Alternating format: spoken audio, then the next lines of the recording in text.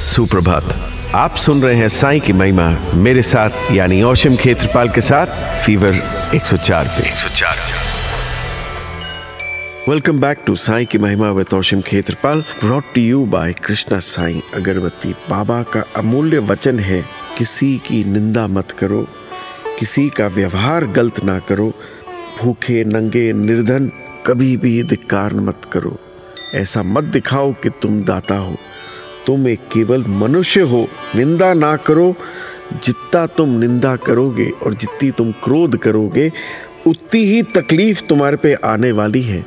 और तब अपनी गलती का एहसास होके उसका प्रायश्चित करोगे तो देर हो जाएगी।